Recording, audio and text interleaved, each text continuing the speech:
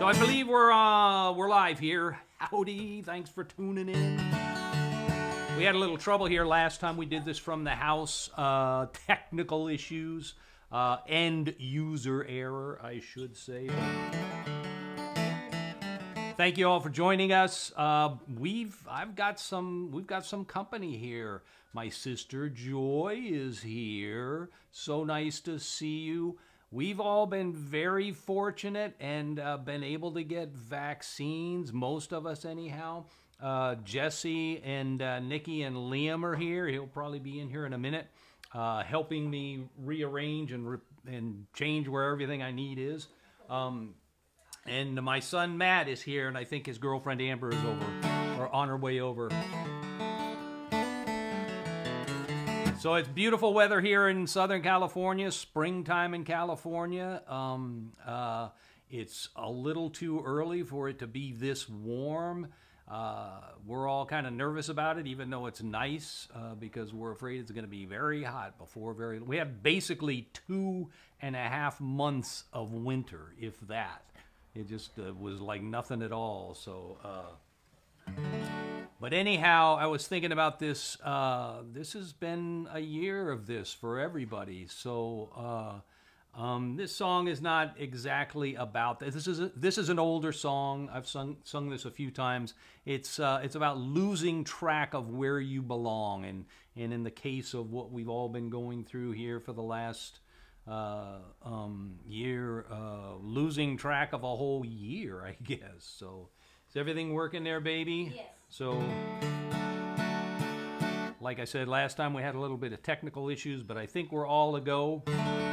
This is a song called Georgia Pines from a long time ago from an album called The Buffalo Show.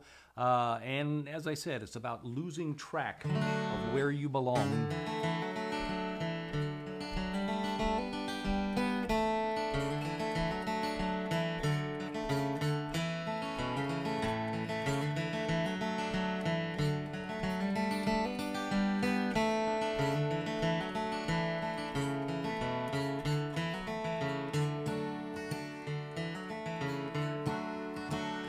Ah, those deep Georgia pines full of blackberry vines, where the air smelled so sweet and so pure. There's a clearing, they say, full of sunlight and shade in those deep, dark, tall Georgia pines. Well, I should never have left for Virginia. But there was something I just had to see. From the day I lost sight of my home and my kin, there's been a black cloud following me. But those deep Georgia pines full of blackberry vines, where the air smelled so sweet and so pure. There's a clearing, they say, full of sunlight and shade in those deep, dark, tall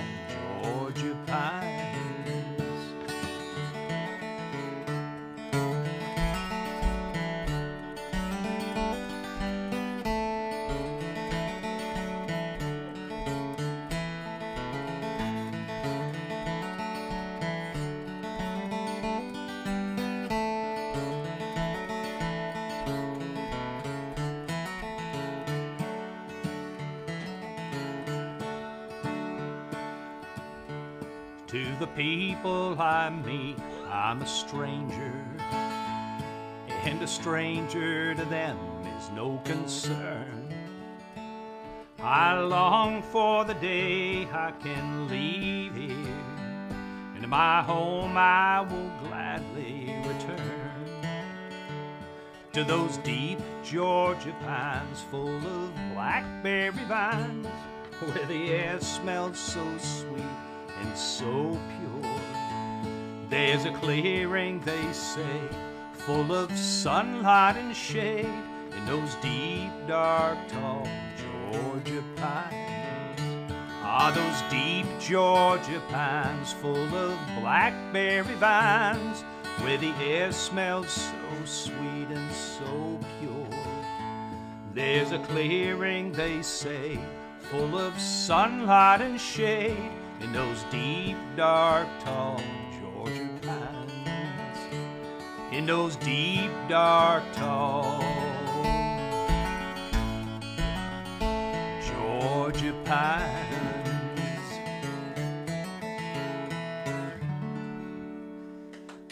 Thank you, everybody, and thank you, everybody out there. Listen, Katie, howling on cue. Hey, what a good dog. And Liam's right here. He may wander in and out of frame. Uh, um, uh, Katie's right here, getting a little scratch. You can see, there you go. You see a little bit of Katie in Katie's ears. So uh, I'm going to send that uh, song out to my sister Barbara, who's not too far from the Georgia Pines, uh, back there in Montgomery, and had a birthday just at the beginning of the month. What was a on the fourth? Sorry, I had to ask Susie. Sorry, Barbara. Um, uh, but April fourth, happy birthday to Barbara. So. Uh, I'm going to just keep going here with another song because that one seemed to go pretty well.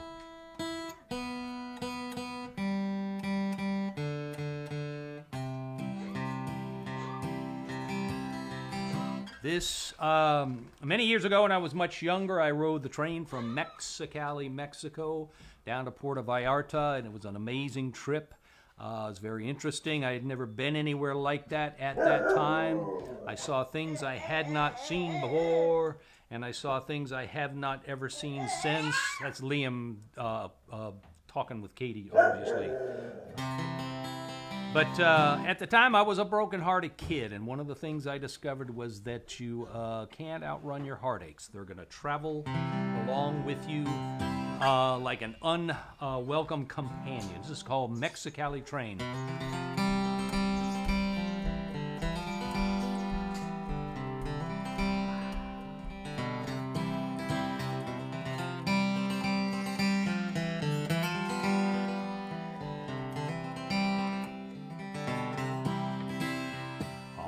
Bus to Mexicali, I counted up my bills and all my change.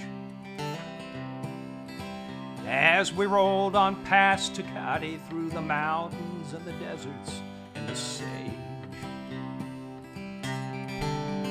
Well, in my mind, I hear you talking all the same words time and time again. Till the only thing that's left for me leaving on the Mexicali train. Well, I stumbled off the bus and through the crowded streets when looking for a sign. Past the old men and the vendors, the women who keep giving me the eye. Well, if you ever really loved me, now it's only just the memories that remain. And from the station to the platform, I step onto the Mexicali train. Mexicali down to Guaymas and the dusty streets of Ciudad Obregon. Yeah, chickens, dogs, and children running through car like something's going on. Kerouac and Cassidy, their ghosts still drift across these open plains. As I struggle with the ghosts that follow me onto this Mexicali train.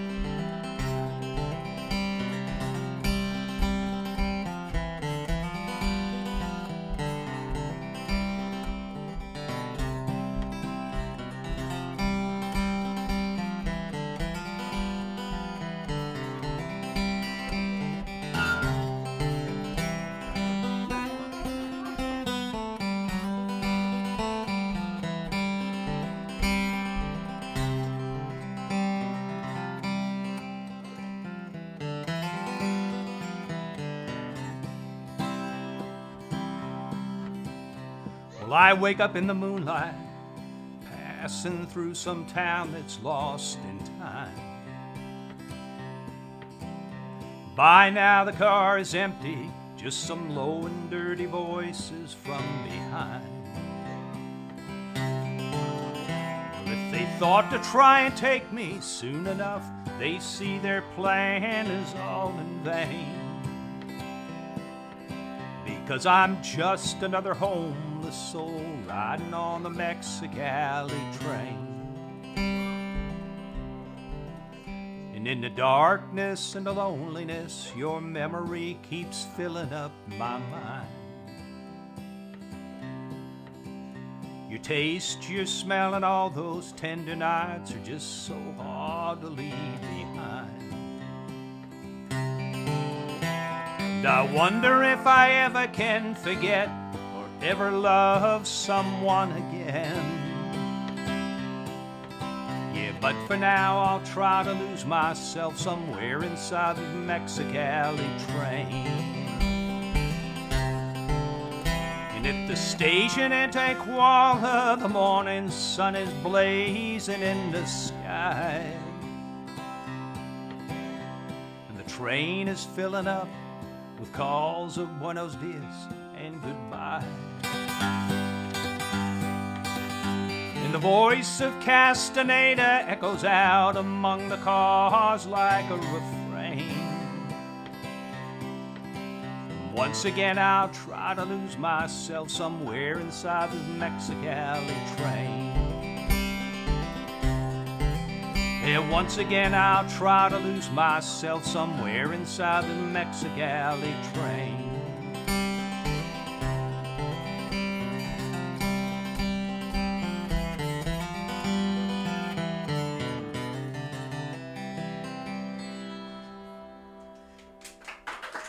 Thank you very much.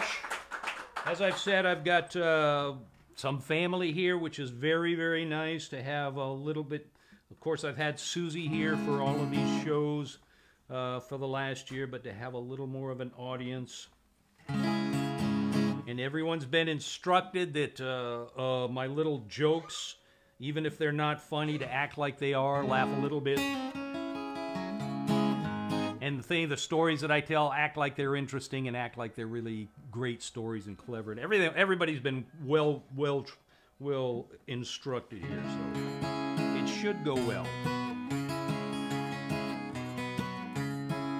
I'm going to do uh, a song from uh, the same album. Uh, the last song comes from an album called Sweet Bernadine, and this song also. And uh, this is a song called Mariachi Hotel, and it's about an old hotel in East LA and Boyle Heights that came to be known as the Mariachi Hotel because for many years mariachi musicians would travel up to this uh, Southern California area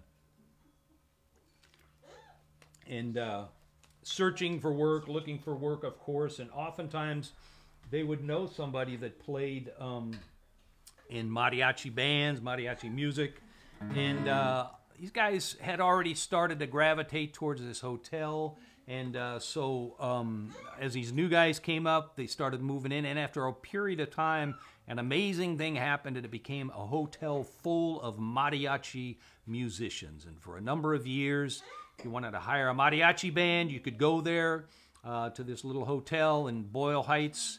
And uh, if these guys did not have another engagement, they would stand around the outside of the hotel with their instruments and their little uniforms, and uh, um, you could pull up and talk a little bit. Uh, they might play a little bit as an audition, and if everything was agreeable, you could talk about money. Uh, and if everything was agreeable, like I said, they would jump in the car or the truck with you and off to the quinceanera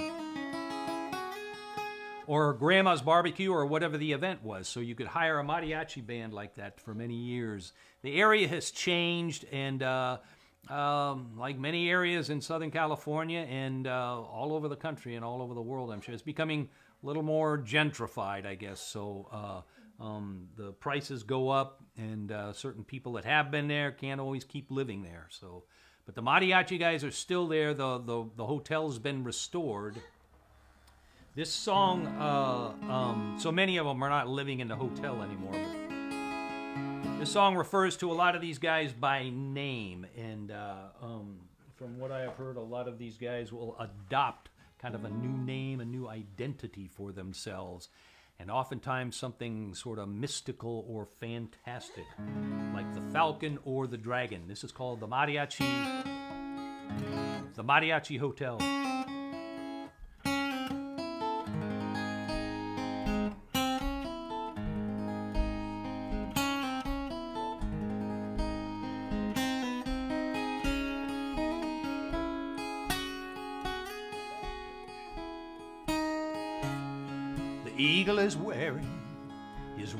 Poncho, decorated with a white reindeer. There are rats here, he tells me, his voice soft and low. But it's the dogs and the lions that I fear. I come here each day and I stand on these streets. My home's the Mariachi Hotel. And Cecilia, she cries, cause I'm sinking so fast. It's a story she knows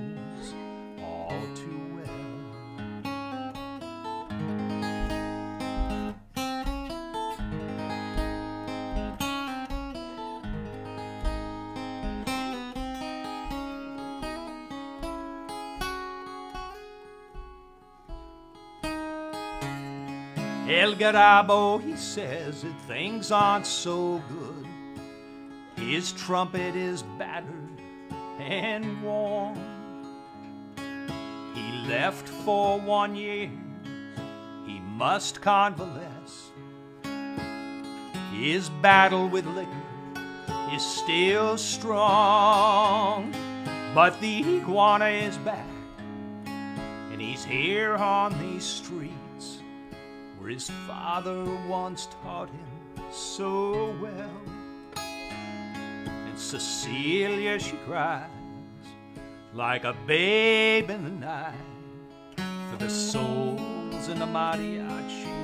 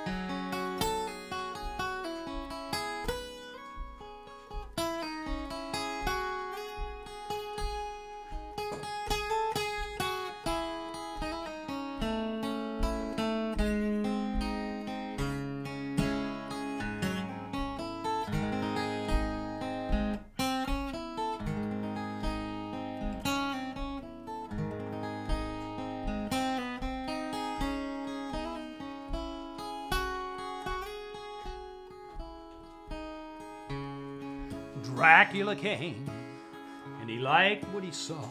And he stayed till he left just a shell.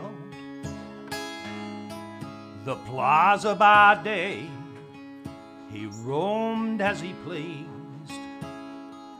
Nights, the mariachi hotel. Now Dracula's gone, but still they drift with their horns and their fiddles, and they yell.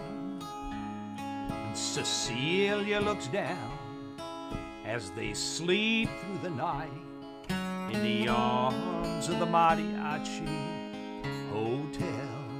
Yes, Cecilia looks down as they sleep through the night in the arms of the mariachi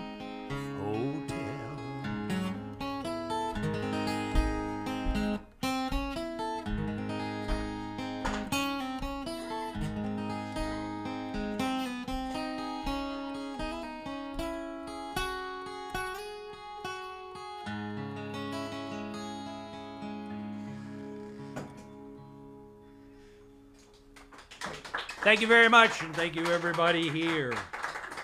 As I said before, it's good to have an audience. Uh, this has been a strange year in many, many ways. But um, can you grab a copy of the new album for me, baby? I can. is there one up there? I Hope so. I don't know if there is. Oh, you know where there is one? There's one right in the end of one of the ends of the. Anyhow, I have a new album. For it's already been out since October, so it's not that new. Oh, it's in either one end of the bag or the other. So, thank you, baby.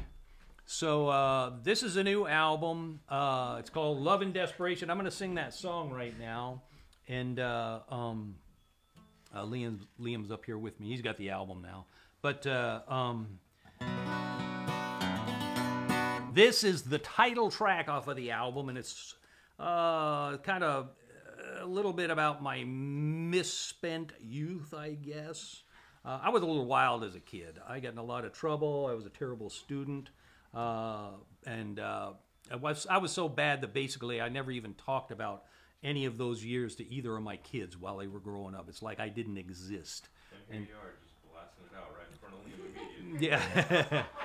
and and he probably is understanding more of this than uh, he, Liam's not uh, not talking yet. He makes that huh sound, but uh, we figured out everybody figured out a while ago that he uh, he's understanding quite a bit. He's comprehending a lot of what's going on. He can play the guitar. Let me give you a chord. Try it again. All right, that was good enough. So here's Katie. Here's Liam. You want to try that chord? That's the chord we're going to be working with there. So anyhow, this is called Love and Desperation. Little intro from uh, Liam. Thank you.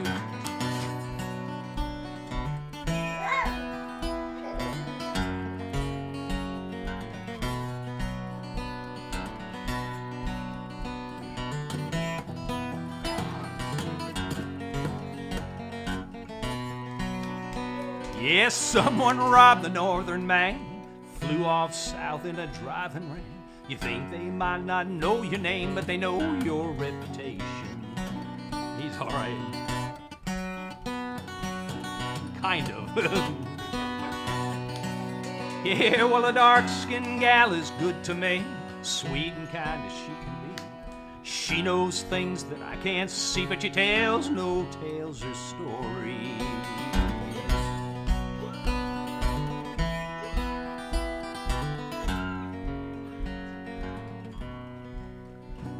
My brother walks a lonesome road, tired eyes, a heavy load. Believes the things that he's been told, but he holds no expectations. yeah, well, Nashville is a rugged town, picks you up and knocks you down, leaves you in the lost and found without a word or warning.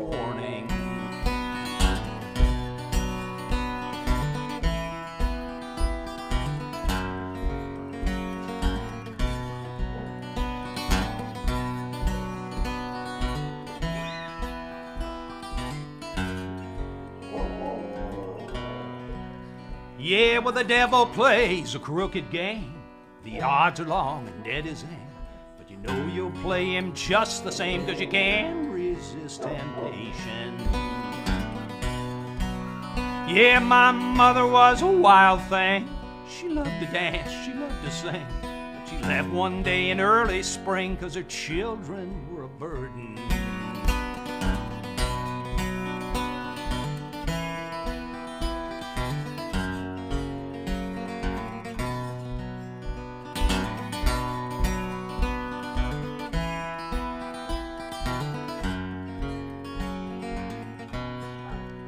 Yeah, my father was a solemn man, a steady voice, a steady hand. But there were things he did not understand about love and desperation. Yeah, well, someone robbed the northern man, flew off south in a driving rain. You think they might not know your name, but they know your reputation. Yeah, you think they might not know your name. Yeah, but they know your reputation.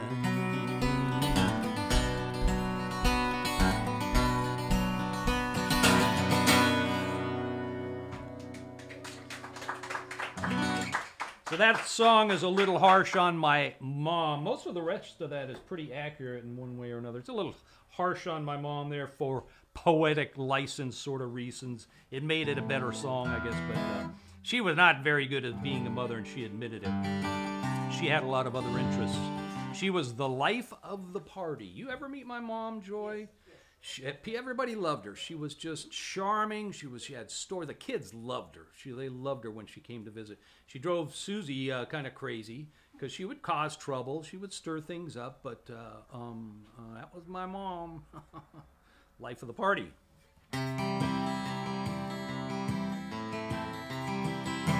So I'm going to do a song. Uh, another. That's a song on the new album, and here's another song on the new album. I'm going to hold this up again uh, because it wasn't up there for very long. So uh, this is the new album. Uh, it's called Love and Desperation. You can get this at the website of my of my website. You can get it at a lot of other places. It's available from Amazon and any online music retailer, really. Amoeba Records has reopened uh, here in Los Angeles, and I'm hoping they're stocking it. I meant to check into that this week. Uh, they've stocked my albums there in the past, and I'm, I'm hoping they have a little slot uh, for me. Um, it's always next to somebody that I can't think of who, but uh,